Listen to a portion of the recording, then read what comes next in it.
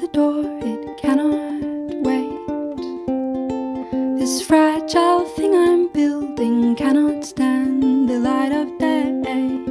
Darling, close the door, it cannot wait. One softly spoken word could be the death of me, and all that I.